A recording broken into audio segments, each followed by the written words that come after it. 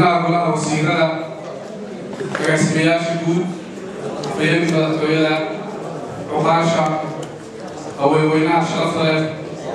ee ka soo qayb galay markasharaf iyo shaqaalaha wasaaradda maalgashiga ganacsiga maalgashigaba waxaan idin leeyahay soo dhowaada waxaana idinku salaamaya salaada islaamka run ahaantii sharaf iyo milga iyo maamuus bay ii tahay inaan halkan maanta anoo huba inaanan marnaba tallaabadii u qaaday iyo tusaalihii iyo taariikhdii u qaran ku lahaa dr muuse qaasim cumar kulmiye aanan ku dhowaan karin haddana shaksiyan aniga sharaf bay tahay in isaga xilka la wareego mudan yaaliyo marooy ugu horaan waxaa madaxweynaha jamhuuriyadda somalilan mudane axmed maxamed siilaanyi uga mahadnanayaa si milgaiyo maamuus bale kalsoonida uu siiyey ee uu i magacaabay xilka wasiirka wasaaradda ganacsiga iyo maalgashiga caalamiga. Qof ahaan waxaan balan qaadayaa in xilkaa qaran ee madaxweynuhu ii igmaday aan u gudan doono sida ugu habboon. Waxaa kaloo aan balan qaadayaa inaan ku shaqayn doono islamarkaana aan fulin doono hadafka iyo himilada ay leedahay xukuumadda uu garwadeenka ka yahay madaxweyne axmed siinaayo taasi oo ah in hay'ad kasta oo ka tirsan hay'adaha qaranku ay la timaado qorshe iyo jaangooyo cad oo ay ku beegsanayso horumar lagu taaban karo ummaddana faa'iido leh mudanayaa iyo marooyin qof kasta oo mas'uul xil qaran loo igmaday waxa hubaal ah in laga sugayo inuu ka midho dhaliyo hawsha iyo xilka loo dirtay mas'uulka xilka loo dirtay horumarkii isbeddelka uu ka sameeyey xilkaa loo dirtay waa mid faa'iido iyo waxtarba u leh qaranka iyo maslaxada ummadda dhinaca kale xilka iyo mas'uuliyadda heer kastoo ay tahayba ma aha kuwa iyagu dhaliya isbeddelka dhabta ah ee loo baahan yahay qofka xilka loo igmado ayaa la yimaada isbeddelka looga baahan yahay in laga hirgeliyo hay'adda mas'uulka looga dhigay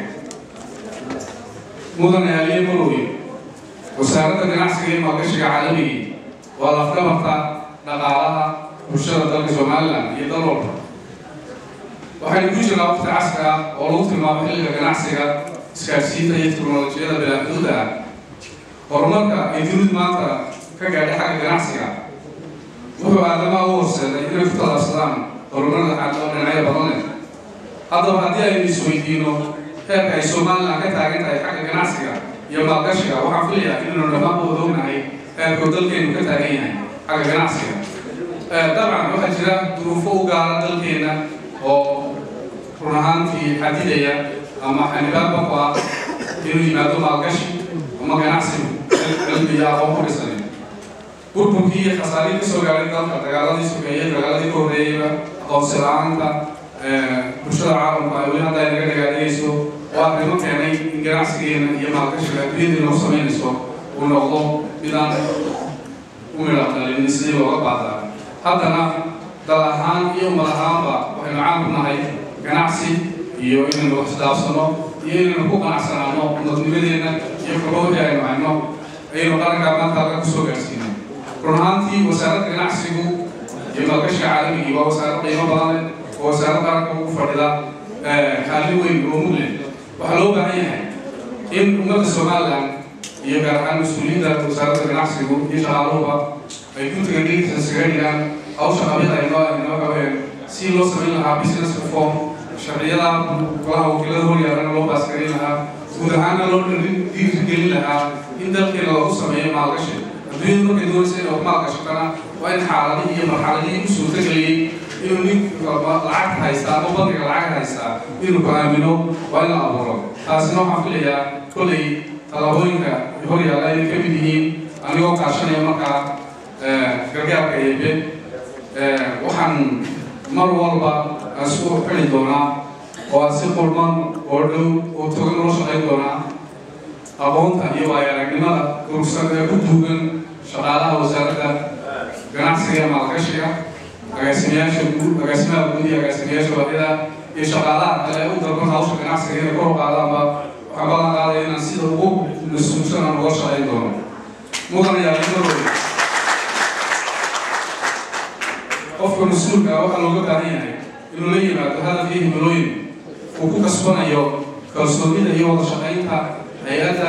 xilka loo dhiibay dadka ka shaqeeya ayuunba guul ku keeni karaa guuldaro ku keeni karaa. Haddii aad aaminto aada la tashato aada u hagar baxdo ilaa intii itaalka ah aada dareento baahidooda iyo kolba siday wax ku hirgelin karaan waxaan filaya inaad guul gaari karto. Guushana ilaahay bahaya haddaba anigoo kaashanay aqoonta iyo khibradda ku duwan wasaaraddan hadda marada layga dhigay waxaan qof ahaan leeyahay bartilmaameed iyo taasoo aan jecelahay inaan ka magadhaliyo taasina waxa weeyaan in ganacsiga iyo maalgashiga dalka somaliland uu kor u kaco oo uu kaco waa goor gaaban hadalkeed gaaban xafladan waa xafladkan wareejin kullay laygama baahna inaan galo siyaasad iyo inkastoo wasiirku xil siyaasi yahay haddana waxaan filayaa siyaasadda lafteeda waa inaan ku cusubahay oo aan aanan kullay doctor muuse qaasim gaari karin waxaan ku soo gabagabeynayaa qarankeenu waa qaran isagoo isku tashaday waa qaran ka maarmay inuu gacanta horsado dhaqaalaha kobaca ganacsi iyo waxyaabaha aynu wadanaba wax yar bay adduunyada inoogu tahay. Inta kale inaga kaysanay mar haddii aynu halkaa maraynana waxaa muhiim in ilaahayna isu xidho kartideennana aamino aad iyo aad ban madaxweynaha jamhuuriyadda somaliland mar labaad uga mahadnaqayaa xilkan uu imaday guud ahaan wasiir qaran baan ahay. Wasiirka qarankuna waxaa loo baahan yahay inuu gobollada dalka somaliland u xaqsooro. Hay'adda uu mas'uul ka yahayna uu wixii mas'uuliyaddeedu tahay uu ka soo baxo. Wasalaamu calaykum